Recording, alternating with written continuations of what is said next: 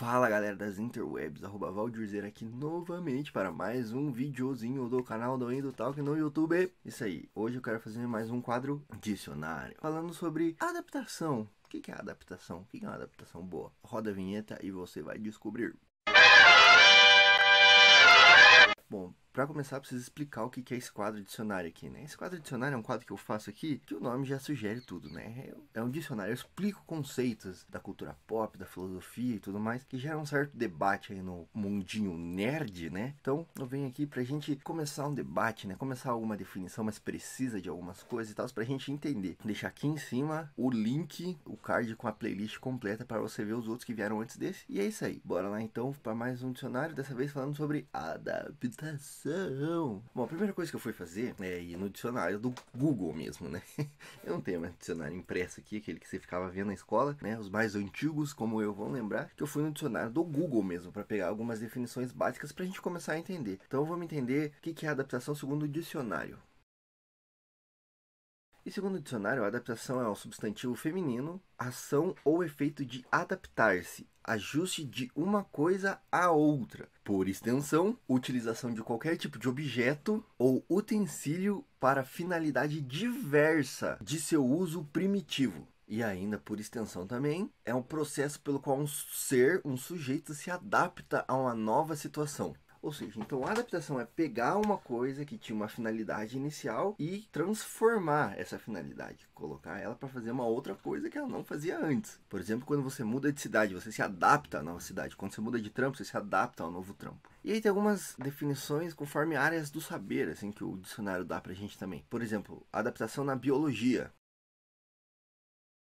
Na biologia, a adaptação é a capacidade dos seres vivos ajustarem-se ao ambiente. Mais ou menos a pegada darwiniana aí de evolução, característica de um organismo ou de uma espécie que possibilita a sua sobrevivência em um determinado ambiente. De novo a questão ali do Darwin, né, de adaptação, de evolução das espécies, né? As paradas vão mudando aleatoriamente assim, e aí a que for mais adaptada àquele ambiente sobrevive, né? Tem também a adaptação na música.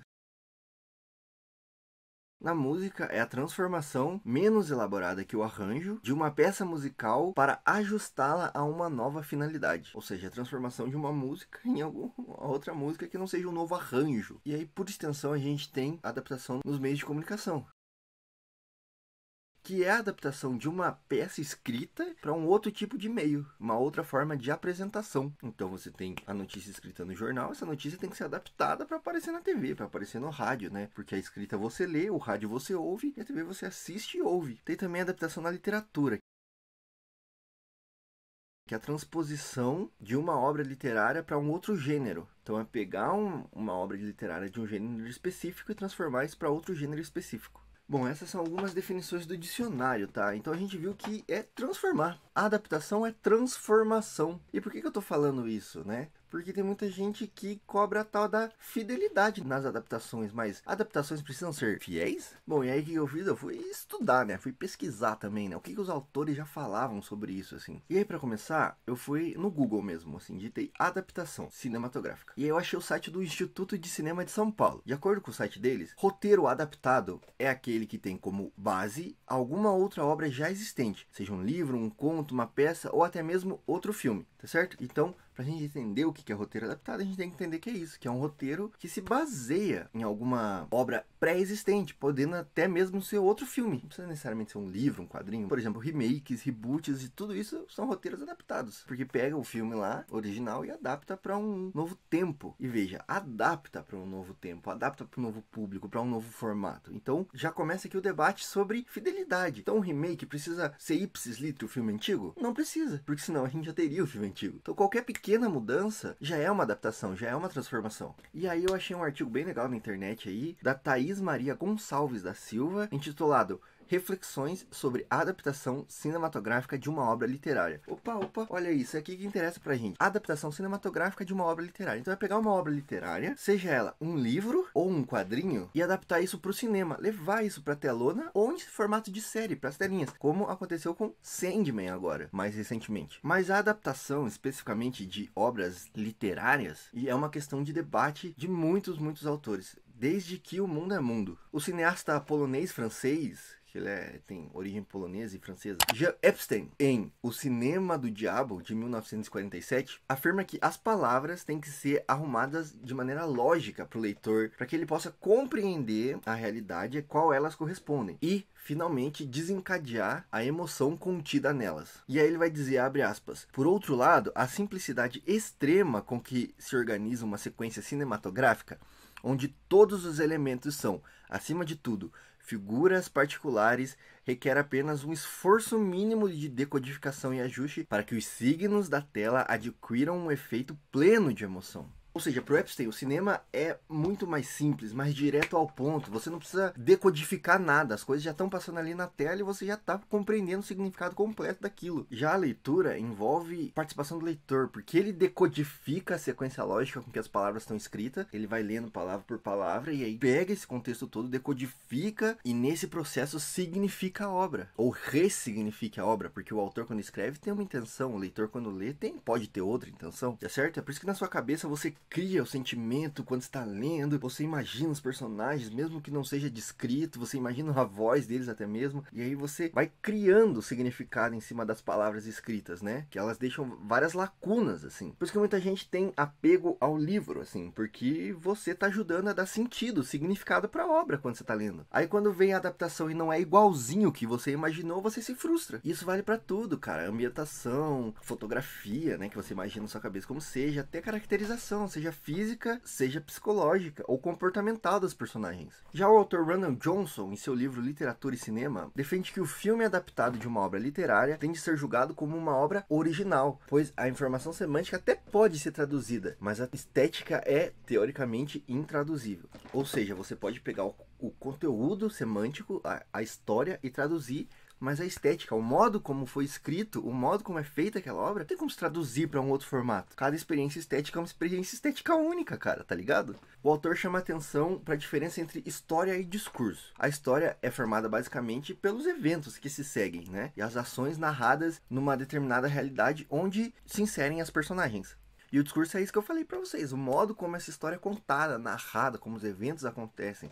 Ou seja, a história semântica pode até ser traduzida. Você pode contar a história das personagens. Você pode pegar, ah, eles se conheceram aqui, lá e tal, e depois viajaram para outro país e aí voltaram e tiveram felizes. Você pode traduzir, você pode tanto escrever, fazer um quadrinho, como fazer um filme, narrando essa sequência de eventos. Mas o discurso, a estética, ela tem que mudar. Porque quando você está escrevendo, está usando palavras. Quando está fazendo quadrinhos, está usando palavras e desenhos estáticos. Quando você está fazendo um filme, está usando imagem, som e movimento. É diferente, porque o discurso pressupõe um meio pelo qual ele vai ser transmitido sentido. E se esse meio muda, o discurso também muda, tá ligado? Ele vai se adaptar ao novo meio. E além disso, segundo o Johnson ainda, há o desafio da intertextualidade. Isto é, trans transportar um texto de um meio para o outro, de um formato para o outro. E isso apresenta os seus desafios. Porque se você parar para pensar, é quase como se fosse uma tradução. Isso porque numa tradução você tenta preservar a mensagem mais fielmente possível. Mas existem coisas que são impossíveis de traduzir, expressões idiomáticas gírias, palavras que não existem na outra língua. E aí, como é que você vai traduzir isso? Então você precisa encontrar recursos na língua nova que se assemelham ou que passam uma ideia semelhante àquilo. Então você preserva a mensagem,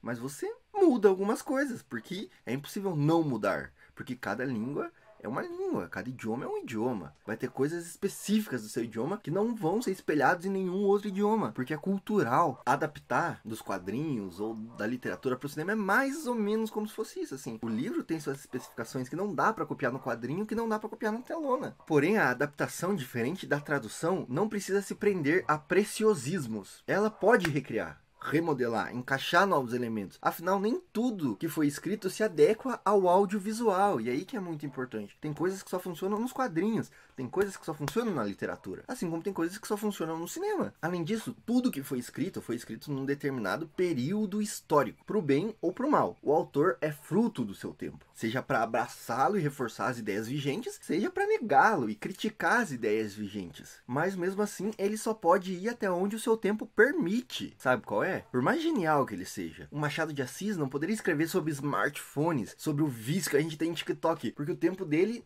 as pessoas nem imaginavam que a gente ia ter internet, TikTok, redes sociais, tá ligado? Mas os tempos mudam, a sociedade não é uma realidade estanque, parada no tempo e espaço. Ela muda, ela avança, retrocede algumas pautas, mas os seus conceitos eles são alterados ao longo do tempo. A sociedade se adapta aos novos tempos, às novas pessoas que fazem a sociedade, às novas demandas, às novas tecnologias que surgem, às novas descobertas científicas, e isso faz com que muitas coisas fiquem ultrapassadas, fiquem datadas. E aí algumas coisas vão ter que mudar da obra original. Não adianta chorar, cara. Vai ter que ser adaptado, vai ter que ser mudado. E como a gente viu no dicionário, a adaptação é alteração, é transformação. O melhor é entender então que a adaptação é uma obra nova que se inspira em algum outro material. E aí eu enxergo quatro possibilidades para adaptação. Ela pode adaptar fielmente o material original e ficar bom, como é o caso de 300 e, em certa medida, Watchmen, até o final ali, adapta ipsis litre, quase o quadrinho, quadro a quadro. Zack Snyder gosta muito, né, de adaptar quadro a quadro. Mas ela também pode ser fiel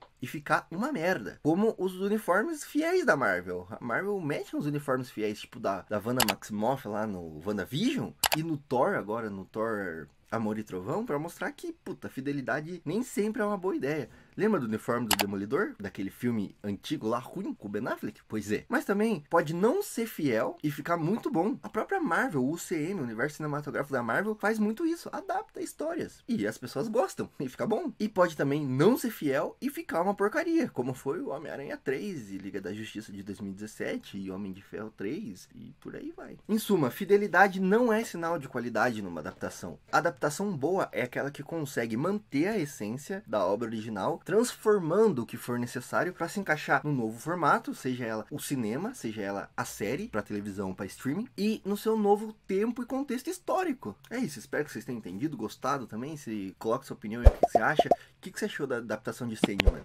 Foi fiel pra caralho, né? Pois é, mas alterou bastante coisa também, né? E aí? Qual que é o peso, fidelidade adaptação, né? Tamo aí, deixa seu comentário. Se você não é inscrito no canal, se inscreve, curte, comenta, ativa o sininho e segue a gente aí nas outras milhares de redes sociais que a gente tá. E é isso, tá? Daqui a pouco vai aparecer vídeos aí pra você continuar com a gente aqui no canal. Então é isso, um abraço e até a próxima.